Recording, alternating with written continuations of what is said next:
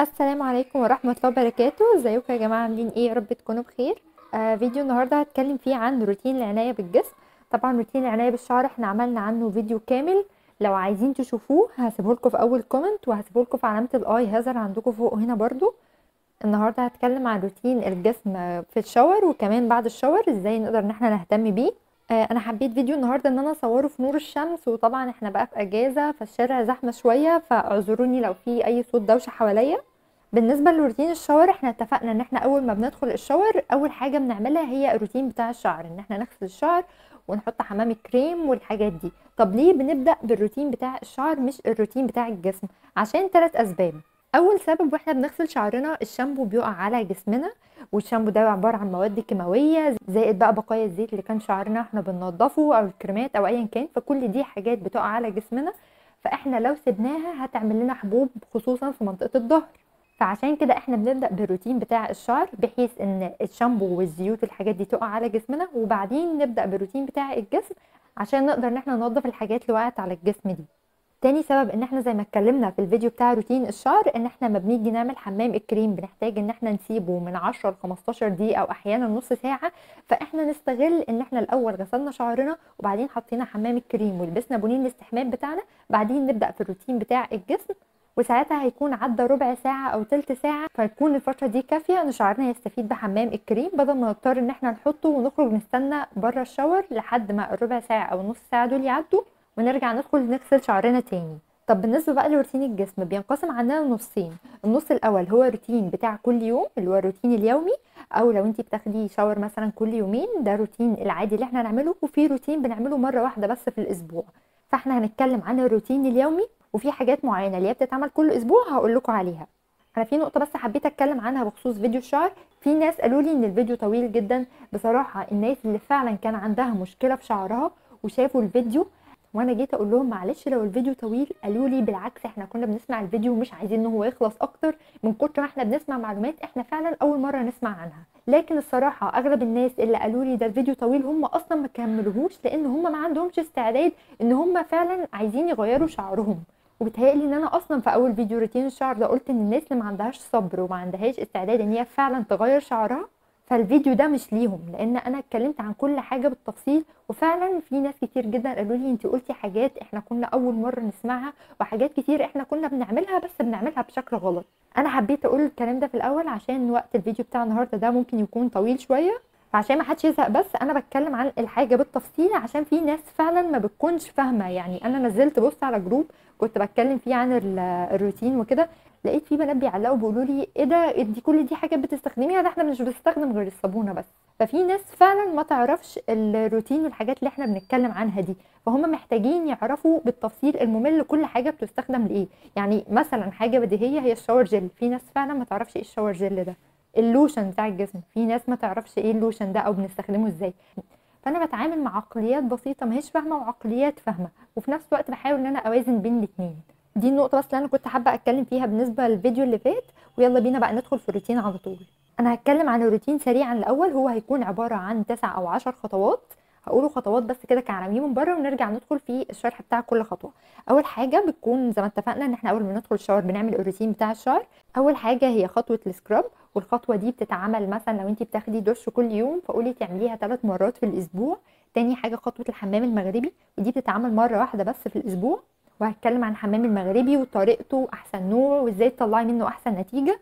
وأثناء الخطوه بتاع الحمام المغربي دي بنعمل معاه خطوة كمان هندخلها في النص كده اللي هي خطوة ال scrub أو التقشير بتاع الرجل. تالت خطوة معانا هي خطوة ال shaving لو انت بتستخدمي ال shaving لجسمك فأحسن وقت تعمليه هو بعد ال scrub وبعد الحمام المغربي. خامس خطوة معانا بتكون غسيل الجسم بالليفة بقى هتقولي لي طب دي لازمتها إيه؟ ما إحنا استخدمنا حمام مغربي واستخدمنا scrub هقول لك دلوقتي إيه لازمة الخطوة دي. سادس خطوة هي خطوة ترطيب الجسم وسابع خطوة هي خطوة ترطيب الرجل. وتامن خطوة بقى اللي هي تعتبر خطوة رفاهية كده اللي هي إن انت ترشي body spray أو body mist أو ترشي برفان على جسمك. تعالوا بقى نتكلم عن الخطوات دي واللي محتاج شرح فيهم هنشرحه. زي ما اتفقنا بعد ما بنغسل شعرنا وبنبدأ نحط عليه حمام الكريم أو البلسم هنيجي لخطوة scrub الجسم. ال scrub اللي أنا بستخدمه هو بتاع بوبانا. أنا قربته لكم خالص أهو عشان اللي عايز ياخده screenshot ده الشكل بتاعه. الشركة بتاعته اسمها بوبانا وده صنفرة بالقهوة. طبعا في أنواع سكرابات كتير جدا بس أنا أكتر حاجة عجبتني هو ال scrub ده وأكتر حاجة عجبتني فيه إن الحبيبات بتاعته زي ما أنتم شايفين كده صغيرة جدا فمش بتعور الجسم زائد إن ريحته تحفة.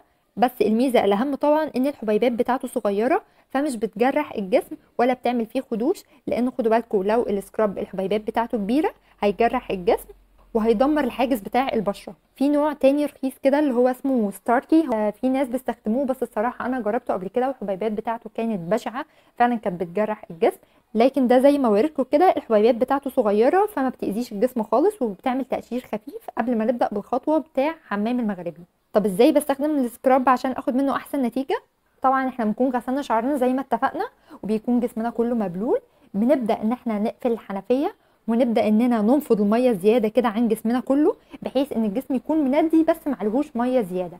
وبعدين نجيب ال scrub بتاعنا ده ونبدأ إن إحنا نفرده على الجسم كله على الرجل وعلى الإيدين وعلى كل الأماكن حتى الأماكن الحساسة. بس ناخد بالنا الأماكن الحساسة لما نيجي نعمل فيها scrub بنعمله بالراحة جدا عشان ما يحصلش التهاب لأن معروف إن الالتهاب في الأماكن الحساسة بيقلب باسمرار. فإحنا أكيد مش حابين حاجة زي كده. فإحنا بنبدأ نفرد ال scrub على الجسم كله وبعدين بنبدأ نعمل حركات دائرية كده.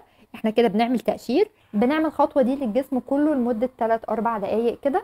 وبعدين هنفتح المية تاني ونبدأ نشطف جسمنا كويس جدا من ال scrub. اتاكدي إن ما عادش فيه أي scrub خالص خصوصا في الأماكن الحساسة. بعد ما اتأكدنا خلاص إن إحنا نضفنا ال scrub كويس من جسمنا كله هتيجي الخطوة بتاع الحمام المغربي. طب هي كانت إيه لازمة ال scrub أصلا لما إحنا هنعمل حمام مغربي؟ لازمة السكراب إن هو بيعمل تقشير خفيف للجلد وبيبدأ يفتح المسامات ويطار الجلد عشان التأثير بتاع الليفة والصابون المغربي اللي إحنا هنتكلم عنه دلوقتي يشتغل كويس. زي ما اتفقنا هنتنقل على خطوة الحمام المغربي. الصابون اللي أنا بستخدمه حاليا هو بتاع كليوباترا. زي ما أنتم شايفين ده بزيت الورد هوريكم القوام بتاعه من جوه برده هو القوام بتاعه عامل زي الجيلي شوية كده. بصوا هو أنا لما جربته اللي أنا لاحظته منه الصراحه إن هو نعم لي جلدي جدا وكنت بحس إن هو بيرطب. لكن من حتة التقشير فما لاحظتش قوي إن هو بيقشر أو بيشيل الجلد الميت بشكل كويس. يعني هو لاحظت إن هو بيشيل جلد ميت آه بس مش أحسن حاجة. أو ممكن عشان أنا بقيت بخلي الحمام المغربي في الروتين الأسبوعي بتاعي فعشان كده ما بقاش فيه جلد ميت كتير اللي هو أنا بقيت بقشره دايما. فالصراحة مش قادرة أحكم عليه في الحتة دي قوي بس اللي أنا ضامنة إن هو كويس لأن أنا جربته قبل كده زائد ريفيوهات الناس عنه كلها كويسة جدا. هو بتاع Moroccan Oil هسيب لكم الصورة بتاعته قدامكم على الشاشة. ده تقدروا تجيبوه من أي صيدلية كبيرة لأن هو فيه منه مضروب آه حجم تقريبا ربع كيلو بتاعه ب 135 جنيه. والميزة كمان إن الحجم اللي هو الربع كيلو اللي هو ب 135 جنيه ده بيجي معاه الليفة بتاعته والليفة بتكون ناعمة كويسة اللي إحنا عايزين أصلا إن إحنا نستخدمها ودي اللي هكلمكم عنها دلوقتي اللي هي الليفة دي. زي ما أنتم شايفين الليفة اللي عندي هنا ناعمة جدا هي زي القماش يعني شوفوا لو كرمشتها في إيدي كلها تتكرمش كده هي ناعمة جدا وبجد ما بتجرحش. أنا كان عندي قبلها واحدة تانية اللي كانت عندي دي اللي استخدمها هيبقى عارف كويس قوي إن هي بتعور البشرة جدا وبتجرح. وعايزة أقول لكم إن هي بتزود جلد الوزة بطريقة رهيبة لأن هي فعلا بتجرح البشرة. آه، فالليفة دي حلوة جدا. صحيح أنا نسيت أقول لكم على الأسعار. السكراب بتاع بوبانا ده تقريبا ب 35 أو بحاجة و30 والصابون المغربي اللي هو بتاع كليوباترا ده كانت العلبة دي ب 45 جنيه. بس زي ما قلت لكم الأحسن إن أنتوا تجيبوا بتاع Moroccanoil. هو ب 135 في الصيدليات. والليفة دي موجودة في أي محل مستحضرات تجميل ب 25 جنيه. دي بتبقى موجودة في كيس أبيض كده شفاف مش اللي هي بتبقى موجودة في الكرتونة. وحاولوا إن أنتوا تطلعوها برده عشان تشوفوا القماشة بتاعتها. أو لو هي موجودة في الكيس بتاعتها بره حاولوا إن أنتوا تتنوها كده هتلاقوا إن هي طرية وبتتنى معاكم في ايدكم زي القماش بالظبط. طب إزاي أقدر أعمل حمام مغربي بحيث إن أنا آخد منه أحسن نتيجة؟ طب إزاي أقدر أستخدم حمام مغربي؟ في طريقتين طريقة منهم هنستخدمها مرة كل أسبوعين ثلاثة وطريقة منهم ممكن نستخدمها مرتين في الأسبوع عادي أو مرة في الأسبوع. بالنسبة للحمام المغربي في ناس كتير جدا أصلا ما بتحبش تعمله بسبب إن هم بيقولوا إن حواراته كتير لأن اللي معروف مثلا الحمام المغربي يقول لك الأول افتحي المية السخنة في البانيو وسيبيها شغالة لمدة ربع ساعة تكون نازلة مية سخنة سخنة لحد ما الحمام يتملى بخار. أنا طبعا أصلا مش مع الخطوة دي خصوصا إن هي إهدار للمية جدا. المهم إن هم بعدها يقول لك ادخلي في البخار وافضلي كمان تحت المية السخنة. يقول لك ادخلي تحت المية السخنة أقصى درجة جسمك يتحملها يعني اللي هي سخنة جدا جدا بس يعني جلدك يتحملها. تقعدي تحتها ربع ساعة أو عشر دقايق لحد ما تأكدي إن جلدك طرى جدا. وبعدها نبدأ بقى نعمل الحمام المغربي. الخطوة دي أنا مش برشحها لأن زي ما قلت لكم أول حاجة إهدار للمية. تاني حاجة إن المية السخنة دي أصلا مضرة جدا سواء للشعر بتوقع الشعر أو سواء للجسم بتسحب منه الترطيب والزيوت الطبيعية اللي ربنا خلقها لنا. هتقولي لي طب إحنا هنطري الجلد إزاي عشان نقدر إن إحنا نشيل الجلد الميت؟ هقولك ما أنت كده كده في الأول قعدتي تحت الدش حوالي ربع ساعة بتغسلي شعرك وتحطي حمام الكريم فكل ده المية كانت نازلة على جسمك وكانت بتطري الجسم. وزي ما اتفقنا إن إحنا الشعر بنغسله بمية بتكون فتره مايلة للسخونة حاجة بسيطة خالص دي هي يعتبر لا هي سخنة ولا هي ساقعة. فالربع ساعة اللي إحنا قعدناها تحت المية دي فعلا كانت كافية إن هي تطري الجلد. ودي كانت ميزة تانية من ميزات إن إحنا أول ما ندخل نبدأ بالروتين بتاع الشعر. وأنا نسيت أقولها لكم في الأول. طب أمال الطريقتين اللي انت بتتكلمي عليهم عبارة عن إيه؟ أول طريقة فيهم ان أنا بعد ما غسلت السكراب من جسمي هبدأ أجيب الصابون المغربي هبدأ احطهم في ايدي بعدين هبدأ ان أنا افردهم على الجسم كله كده بحيث ان هو يعمل طبقة على الجسم وهسيبهم لمدة 10 دقائق هعمل كده برده في جسمي كله حتى الأماكن الحساسه طب أنا لما سبت الصابون على جسمي 10 دقائق هفضل أعمل إيه في الوقت ده؟ في الوقت ده يا ست البنات انت هتجيبي ده ده اسمه مبرد للرجلين. وده الشكل بتاعه من هنا أو بيقولوا عليها مبشرة والناحية التانية بيكون مبرد أو زي الصنفرة كده. دي أنا كنت جايباها من محل مستحضرات تجميل كان جاي كده علبة فيها أربع حاجات كان فيها قصافة وفيها حاجتين كمان هوريهولكم. دول الثلاث حاجات اللي كانوا جايين مع بعض. دي بتشيل الجلد الميت من المنطقة بتاع الضوافر وحوالين الضوافر ودي عبارة عن مبشرة بتكون فيها أمواس كده وبيجي معاها أمواس برضو علبة صغيرة فيها أمواس. دي مفروض بتقشري بيها برضو الجلد الميت بس دي الاستخدام بتاعها لازم يكون بحذر عشان ما تعورش ولازم الجلد يكون دايب جدا. الاتنين دول أنا بستخدمهم لما بكون بعمل الخطوه بتاع الباديكير لوحدها برة لكن دي أنا بستخدمها جوه الشاور فعشان كده هي اللي هنتكلم عنها دلوقتي. انت بعد ما فردتي الصابون المغربي على جسمك وسبتيه هتبدأي إن انت تقعدي وتبدأي تنشفي رجلك من تحت اللي هي الكعب بتاع الرجل والرجل من تحت بالفوطة كويس هتغسلي طبعا من الصابون وتبدأي إن انت تنشفيه كويس. بعدين هتبدأي تجيبي الأداة بتاع الرجل دي وخصوصا منطقة كعب الرجل هتبدأي إن انت تمشيه عليها كده. وهتمسكي رجل رجل وتبدأي تعملي لها تقشير بس أهم حاجة إن انت تكوني نشفتي رجلك بالفوطة عشان هي مش هتعمل أي حاجة لو الرجل مبلولة. فالعشر دقايق أو الربع ساعة اللي الصابون هيقعد فيهم على جسمنا إحنا هنكون بنستغلهم استغلال كويس بإن إحنا بنعمل تقشير وبديكير لرجلنا. طب بعد ما الربع ساعة تعدي وعملنا تقشير لرجلنا نعمل إيه في الصابون اللي على جسمنا؟ هنبدأ إن إحنا نقف تحت الدش ونغسل جسمنا كويس جدا من كل الصابون اللي موجود عليه. طب خطوه الصابون دي كانت لازمتها إيه أصلا؟ كانت لازمتها إن هي هتطري الجلد الميت عشان لما نيجي نعمل له سكراب دلوقتي بالليفة أو نشيله بالليفة هيتشال معانا بكل سهولة. بعد ما غسلنا الصابون من جسمنا كله هنبدأ برضو إن إحنا ننفض المية الزياده كده أو ممكن نجيب الفوطة ونبدأ نطبطب على جسمنا كده عشان نمتص منه المية الزيادة. وبعد كده هيجي دور الليفة بتاعتنا. هنبل الليفة بتاعتنا بالمية السخنة وبعدين هنبدأ إن إحنا نلبسها وهنيجي بقى على حتة حتة في جسمنا هنبدأ نعمل لها تقشير. يا إما في حركات دائرية يا إما هتبدأي كأنك بتكنسي كده اللي هو هتعملي كده. هتلاقي بلاوي وفرك بيقع معاكي كله جلد ميت. طبعا الجلد هيحمر شوية زي ما أنتم شايفين كده مش مشكلة عادي. بس ما تضغطيش جامد. هنعمل كده في جسمنا كله لحد ما نتأكد إن إحنا طلعنا أغلب الجلد الميت اللي موجود. طبعا انت لو عمرك ما عملتي حمام مغربي فعشان تقدري ان انت تطلعي اغلب الجلد الميت اللي في جسمك الموضوع ممكن ياخد منك أقل حاجة شهر إن انت تعمليه كل أسبوع كل مرة هتلاقي بيطلع معاكي جلد ميت لأن مش التراكمات بتاع السنين دي هتطلع معاكي من أول مرة. فزي ما اتفقنا كده هنفضل نعمل تقشير لجسمنا كله بالليفة وكمان الأماكن الحساسه بس زي ما قلنا هنعمل بالراحة جدا جدا جدا للأماكن الحساسة عشان ما يحصلش فيها التهاب واستمرار ودي الطريقة الأولى الحمام المغربي اللي أنا بستخدمها مرة واحدة في الأسبوع. الطريقة الثانية اللي أنا بعمل بيها الليفة والصابون المغربي كأنهم ليفة وصابون عاديين أو ليفة وشاور جل هو إني بجيب الليفة وببلها مية وأبدأ أجيب حتة صابون وأبدأ أحطها في النص هنا كده وأفردها وأبدأ أغسل بيها جسمي كله كأني بستحمى بليفة عادي. الخطوة دي بتكون حلوة جدا جدا وبجد دي اللي بلاحظ منها بقى نعومة وبلاحظ إن الصابون ده بيرطب جسمي. الخطوة دي بحبها جدا جدا وبحب أعملها كل مرة باخد فيها شاور طبعا أنا دلوقتي عملت سكراب لجسمي وبعدين عملت الحمام المغربي وأنا بعمل الحمام المغربي عملت سكراب لرجلي. إيه الخطوة اللي عليها الدور؟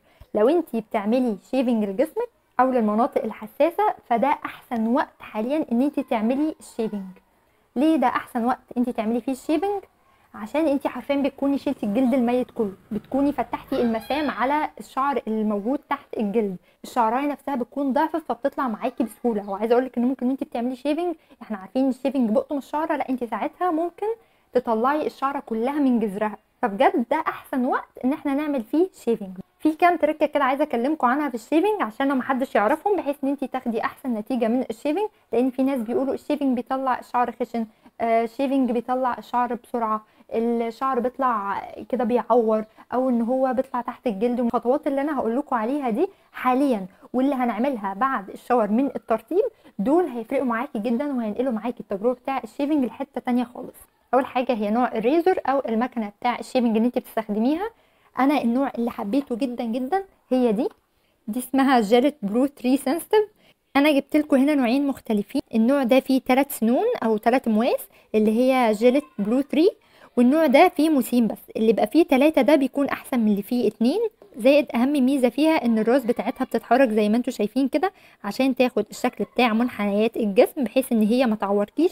لكن دي الراس بتاعتها بتكون ثابتة مش بتتحرك ولا حاجة. زي ما أنتم شايفين أهو بحاول إن أنا أحركها مش بتتحرك. فعشان كده أنا شايفة إن النوع بتاع جيل بلو 3 ده أحسن من ده بكتير. هو أي نعم أغلى شوية يعني ده تقريبا كيس بيكون فيه 12 مش عارفة بكام كده تقريبا بحاجة و80 لكن ده العلبة اللي هي اللي هناك دي بيكون فيها ثلاثة بتكون بحاجة وخمسين وفي منها أكبر من كده بتكون تقريبا فيها خمسة أو ستة بتكون بمية وشوية.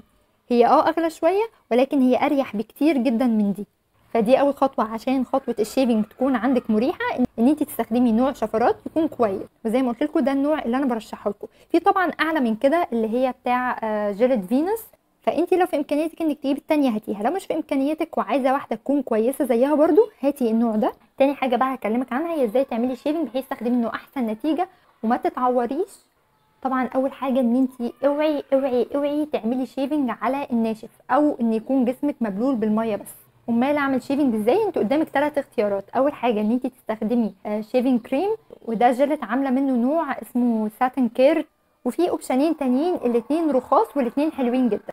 أول option فيهم إن انت تستخدمي بلسم بلسم اللي هو بتاع الشعر هتبدأي تجيبي شوية وهتبدأي إن انت تفرديه على جسمك وتسيبيه لمدة دقيقة أو دقيقتين كده بعدها تبدأي تعملي شيفنج وهو موجود.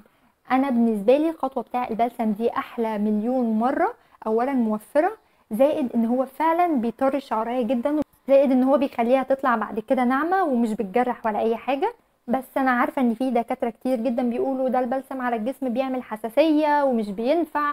فبصي الأجسام كلها مش زي بعض. انت هتجربي الخطوة دي على حتة صغيرة جدا من جسمك. يعني هتجربيها على إيدك مثلا تسيبي تسيبيه لمدة ساعة وتشوفي هل هيحسسك ولا لأ. لا لو انت بشرتك حساسة ما تستخدميهوش هتلجئي للطريقة التانية اللي أنا هتكلم عنها دلوقتي. لكن لو بشرتك مش حساسة فصدقيني هيكون أحلى option إن انت تعملي shaving بيه هو البلسم. طب فرضنا بشرتي طلعت حساسة هتستخدمي إيه؟ هتستخدمي Baby Johnson أو اللي هو Johnson oil هتبدأي إن انت برده تفرديه على جسمك وهتسيبيه لمدة دقيقة أو اتنين بحيث إن الشعر يمتصه. بس من غير ما تفرديه اللي هو انت عايزة الجسم يمتصه لا انت هتسيبيه على السطح كده وهتسيبيه لمدة دقيقتين بس وبعدين تبدأي تعملي shaving وهو موجود. برضو الخطوة دي حلوة جدا بس اللي أحلى منها بكتير وكل اللي جربوه بالبلسم قالوا كده هي الخطوة بتاع البلسم. فلو طلعتي حساسة استخدمي Baby Johnson لو ما انتش حساسة استخدمي البلسم لو مش عاجبك ده أو ده هاتي ال shaving cream ال shaving نفسه بيتعمل إزاي؟ ال shaving بيتعمل في اتجاه نمو الشعر. يعني لو الشعر بينمو هنا هتبدأي تعملي shaving كده ما تعمليش عكس اتجاه نمو الشعر لأن انت كده بتقطمي الشعراية وده سبب من أسباب اللي بيطلع جلد الوزة وبيخلي الشعر يطلع خشن وده سبب من أسباب جلد الوزة واللي ما يعرفش أصلا يعني إيه جلد الوزة جلد الوزة ده بيكون عبارة عن إن الشعر بيكون تحت الجلد بيحاول يطلع بس ما بيعرفش يطلع فبالتنى ويرجع تاني تحت الجلد ويظهر لك على شكل حباية. فلو انت عايزة تتجنبي الحوار ده برده من الحاجات المهمه اللي هتساعدك ان انت تعملي شيفنج في اتجاه نمو الشعر. بعد ما تخلصي جسمك كله في اتجاه نمو الشعر أو المنطقة اللي هتعمليها مثلا لو هتعملي إيدك في اتجاه نمو الشعر بعد ما تخلصي عيدي عليها مرة واحدة بس في عكس اتجاه نمو الشعر. بحيث إن لو في أي بقايا صغيرة خالص ما اتشالتش أو إن الشعرايه اتقطمت جزء منها وفي جزء لسه صغير موجود خطوة عكس الاتجاه دي هتخلي لك الجلد ناعم جدا.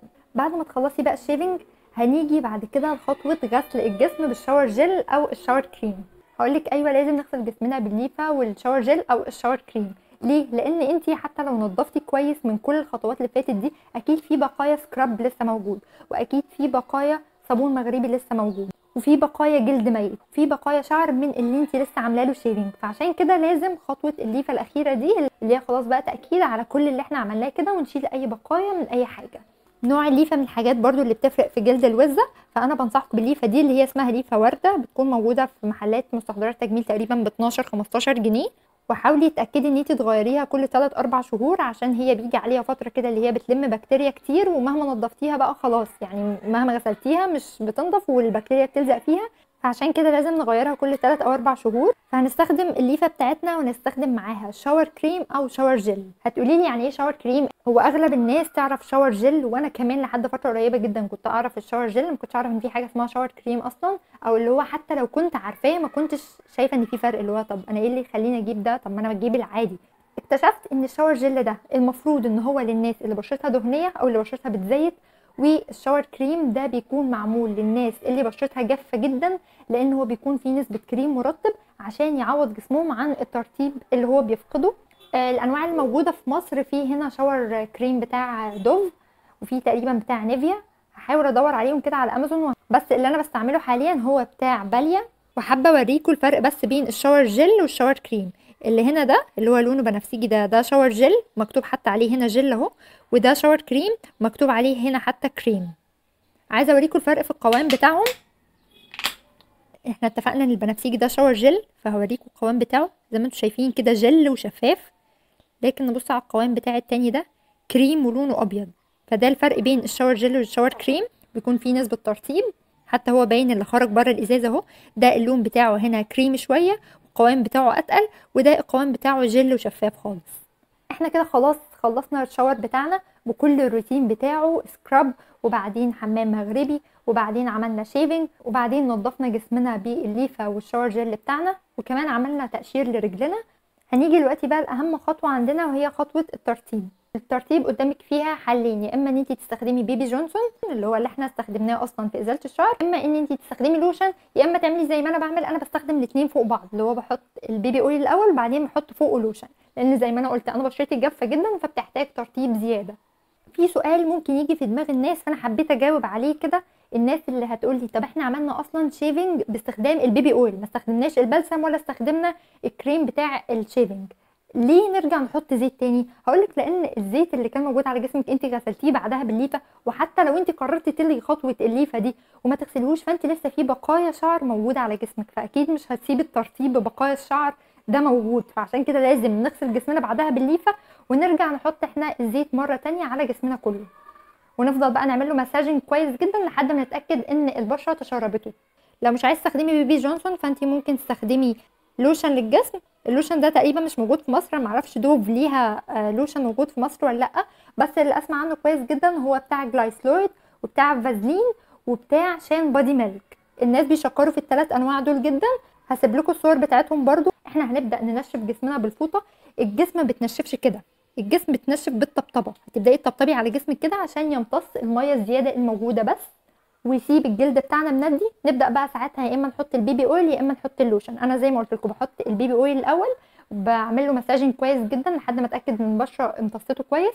وبعدها ببدأ أحط طبقه من اللوشن وبرده أعمل له مساج كويس لحد ما أتأكد إن الجسم تشرب. في حاجة ناس كتير ما تعرفهاش إن حتى المناطق الحساسة بتحتاج إن هي تترطب. بس المناطق الحساسة مش بنستخدم لها كريم الترطيب العادي إحنا بنستخدم لها حاجة تكون طبية تكون خالية من الروايح ومن العطور ومن الكحول. زي بانثينول 2% كريم ده ده بيكون موجود في الصيدلية. وعايزة أقول لكم إن أغلب الدكاترة أصلا اتكلموا عن إن الأماكن الحساسه بتحتاج إن هي تترطب على الأقل مرة في اليوم سواء under arm أو بيكيني وأكيد طبعا قبل ما يترطبوا لازم نغسلهم كويس. وأنا بتكلم على ترطيب الأماكن الحساسه في خطوة أنا بعملها بس نسيت أكلمكم عنها وهي تنظيف المنطقة الحساسة خصوصا البيكيني أنا بستخدم غسول جولد ده. غسول جولد ده فيه منه نوعين. آه النوع ده فوم زي ما أنتم شايفين كده. يعني البخاخة بتاعته من فوق دي لما بتضغطي عليها بتطلع لك فوم كده. بس ده أنا بستخدمه مرتين فقط في الأسبوع واستخدام خارجي. أنا مش هقدر أتكلم في الموضوع أكتر من كده. لو عايزة تجيبي الفوم ده هاتيه ولو عايزة تجيبي النسخة التانية منه اللي هي الجل هاتيها. الجل الفكرة بتاعته بس إن هو لازم يتخفف الغطا بتخفف على لتر إزازة مية. ما ينفعش إن أنت تستخدميه مركز عشان ما يعملكيش التهابات أكتر. وزي ما قلت لكم الخطوة دي بنعملها مرتين في الأسبوع بس. لكن بقية الأسبوع لما بنحب إن إحنا ننظف المنطقة دي بننظفها بمية دافية فقط لا غير. أنا في نقطتين بس نسيت أتكلم عنهم فصورت الجزء ده بعد الفيديو لما افتكرتهم عشان أوضح لكم النقطتين دول. بالنسبة للنقطة بتاع التنظيف أو الروتين الغسل بتاع منطقة البيكيني أنا اتكلمت عنه لكن بقى نتكلم على الأندر ارم الناس اللي عندها ريحة عرق مفرطة يعني اللي هي بتعرق ريحة عرق وحشة جدا دول الحل بتاعهم إن هم يستخدموا غسول مضاد للبكتيريا لأن أصلا طبيعة العرق بتاع جسمنا إن هو مش بيكون ليه ريحة. بيكون ليه ريحة بسبب البكتيريا اللي بتكون موجودة على الجلد من بره هي اللي بتعمل ريحة العرق الوحشة دي. فعشان كده لازم نستخدم غسول يكون مضاد للبكتيريا أو قاتل للبكتيريا يعني زي الغسول ده. ده shower gel بتاع In and Out موجود في الصيدلية سعره 90 جنيه تقريبا. آه هو بيكون فيه مواد مفتحة وفيه مواد كمان تقشير عشان تقشر منطقة ال under arm وتعالج الاسمرار زائد إن في مواد بتقتل البكتيريا فده حلو جدا. بنستخدمه في ال shower في الخطوة الأخيرة بتاع التنظيف اللي إحنا اتكلمنا عنها بالليفة. بعد ما بتغسلي جسمك كله بال shower gel أو shower cream بتحطي شوية shower gel من دول على ليفة وتبدأي تغسلي بيها منطقة ال under arm وأي منطقة فيها تنايات في الجسم يعني زي منطقة ال under chest برضو وورا الودان برضو وتنضفي بيها المنطقة بتاع السرة. عشان كل دول بتراكم فيهم بكتيريا بتعمل ريحة وحشة. آه الخطوة التانية اللي نسيت أتكلم عنها هي ترطيب الرجل. إزاي بعد ما عملنا لها باديكير في الدش إزاي نرطبها عشان نخليها زي رجلين ال baby بالظبط وترجع حرفيا يعني قمة في النعومة. أول حاجة بجيب جليسوليد جليسوليد ده بتجيب من أي محل مستحضرات تجميل. وبتجيبي أكياس لبن. أكياس اللبن ده الكميه دي ربع كيلو. أنا كنت جايباها من محل أكياس. الربع كيلو ده تقريبا كان ب 18 جنيه والكمية كبيرة جدا فهتقعد معايا كتير جدا. باجي مثلا في فترة أكون هقعد فيها في السرير ساعة أو ساعتين أو لو قبل النوم بساعة مثلا أبدأ إن أنا أحط جليسوليد على رجلي كويس جدا وبعدها ألبس كيس لبن وألبس فوق كيس اللبن شراب. وأفضل قاعدة كده لمدة ساعة أو ساعتين لو تقدري تنامي بيه نامي عادي هيبقى حلو جدا. بس الفكرة إن الكيس بيقعد يخرفش طول الليل فالموضوع بيكون آه وحش قوي وكمان بيحرر رجلك جدا خصوصا في الصيف اللي إحنا داخلين عليه ده فالموضوع مش هيكون ألطف حاجة. عشان كده حطيه والبسي فوق الكيس والبسي فوق الكيس شراب وخليكي لابساه لمدة ساعة أو ساعتين بعدها هتقلعي الشراب وتقلعي الكيس هتلاقي إن رجلك حرفيا بنعومة ال baby. آه فدول النقطتين اللي أنا كنت حابة أتكلم عنهم. كده خلصنا الروتين بتاعنا. آخر خطوة وهي خطوة اختيارية جدا وهو إن أنت ترشي أي برفان أنت حباه أو أي body spray أو أي body mist في طبعا بقى ناس بتحب الجو بتاع Bath and Body Works و Victoria's Secret والكلام من ده اللي يقدر يجيب دول يجيبهم أهلا وسهلا اللي مش هيقدر وعايز حاجة يكون سعرها كويس وريحتها كويسة. أنا جربت بتاع فوده ده موجود في أي محل مستحضرات تجميل. الريحة الوحيدة دي هي الريحة اللي عجبتني فيه هو فيه روايح جدا بس ال Pink Passion دي هي الوحيدة اللي عجبتني فيه. سعره تقريبا 40 أو 45 جنيه. في بقى الأغلى منه شوية وده لسه جاي لي النهارده ده بتاع إيفا. الريحة دي اسمها Cozy Dream. الريحة دي شجري وحلوة جدا. ده موجود على أمازون. سعره 200 جنيه بس هو على ال site أصلا بتاع إيفا أو على الموقع بتاع إيفا سعره 120 جنيه. بس المشكلة إن أغلب الروايح أو تقريبا كلهم out of stock فهو موجود على أمازون بس موجود ب 200 جنيه. أنا عايزة أقول لك بعد ال shower ده ما تخلصيه بكل الحاجات اللي فيه ده. حرفيا هتخرجي هتلاقي ريحتك انتعاش. جلدك هيكون بيشكرك على النعومة اللي انت عملتيه فيها بسبب ال scrub وبسبب الحمام المغربي وكمان بسبب الترطيب اللي انت عملتيه بعدها. وهتلاقي ريحتك حلوة جدا وهتفضل حلوة كده يوم ولا اتنين. وعايزة أقولك إن الخطوة بتاع الحمام المغربي والترطيب الاتنين دول هينقلوا جلدك في حتة تانية خالص وهيقللوا معاكي جدا من جلد الوزة. وبس كده ده كان الفيديو بتاعنا النهارده. أنا أسفة لو الفيديو كان طويل شوية بس زي ما قلت لكم حاولت إن أنا أتكلم بتفصيل شوية عشان في ناس فعلا ما تعرفش إحنا هنستخدم إيه قبل إيه وخصوصا لو انت عروسة ومشيتي على الروتين ده قبل فرحك بكام شهر ودخلتي الحمام المغربي في روتينك كل أسبوع انت فعلا هتنقلي بشرتك في حتة تانية خالص. آه ولهنا نكون وصلنا لنهاية الفيديو بتاعنا. يا ريت تكتبوا لي رأيكم في الكومنتات. لو الفيديو عجبكم ولو أنتوا حابين إن أنا أعمل فيديو عن أي حاجة تانية يا ريت تكتبوا لي في الكومنتات تحت. أشوفكم الفيديو الجاي على خير. السلام عليكم.